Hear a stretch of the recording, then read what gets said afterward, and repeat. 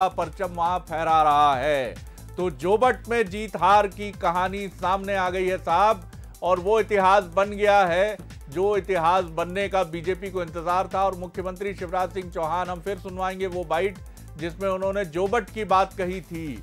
वो बहुत महत्वपूर्ण उनकी बाइट थी, क्योंकि पूरे उपचुनाव में बीजेपी ने, यानी मुख्यमंत्री ने जिस तरह कहा, हम ये मानते हैं कि जोबट ही प्रतिष्ठा का प्रश्न थी और इसमें उन्होंने सफलता हासिल की। सुलोचना रावत जीत गई हैं तो जोबट में जीत का जश्न। चलिए 6000 कितनी लीड है? मैं सुन लेता हूँ एक बार और अपनी टीम से। 6000 से ज़्यादा है 6000 प्लस की लीड है। लीड आप कह सकते हैं कि आ, कोई इतनी बड़ी लीड नहीं है।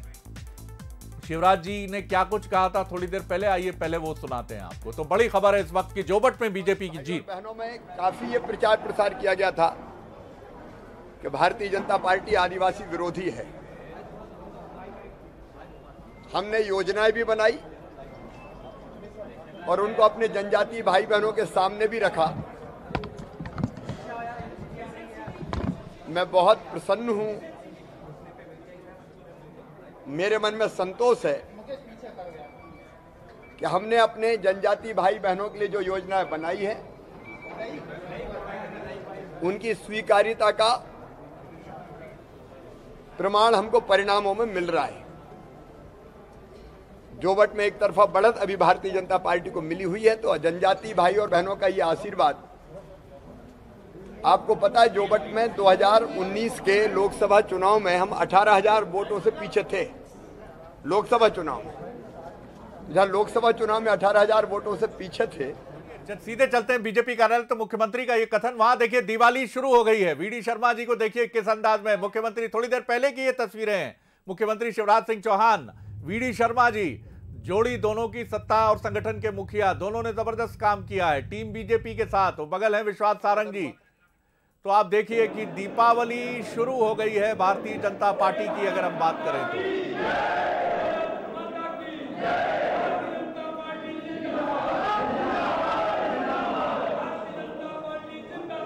Amen.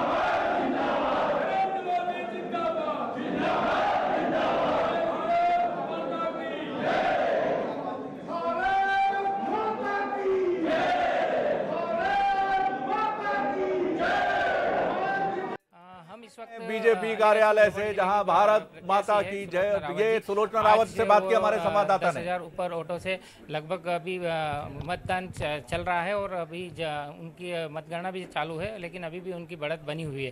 तो सुलोचना रावत जी, भाजपा की जो प्रत्याशी है, हम उनसे बात करेंगे कि किस तरह की खुशी है और अब क्या आगे इनका रणनीति है और किस तरह से इनका विजय का जो बनाया था इन्होंने रणनीति, उस पर क्या आगे किया है? मैडम, ये क्या है आप जीते और सब धन्यवाद।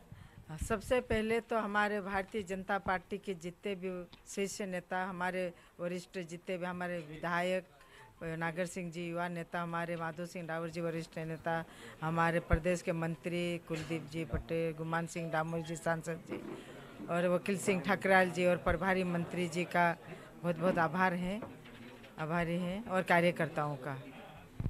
किस मुद्दों को लेके गए थे और आपके जो जनता के सामने जिन मुद्दों को लेके गए थे, लेकिन वो मुद्दे वाकई में आपको, जनता ने आपको स्वीकार किया है? हमारे जो मुद्दे लेके गए थे, हमारे शिवराज सिंह जी के जो मुद्दे आज हमारे क्षेत्र में जो विकास के कार्य चल रहे हैं।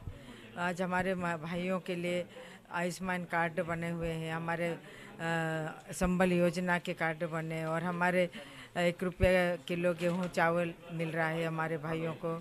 और हर मुद्दे लेके गए थे और हमारे महिलाओं के लिए गांव-गांव में पानी पहुँचाया जा रहा है घर घर पानी जाएगा उसका मुद्दा लेके गए थे हम जनता के सामने। आप विजय हुए हो जनता को क्या कहना चाहोगे? किस तरह की बधाई देना चाहोगे आप?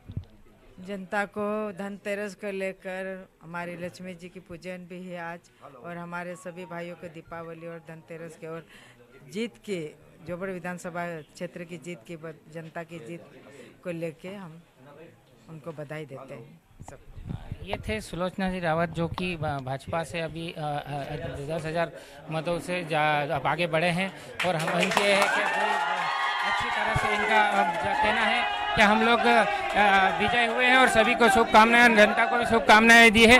मैं इस वक्त कैमरामैन जितेंद्र के साथ यतेंद्र सिंह सोलंकी, बंसल न्यूज़, अलीराजपुर।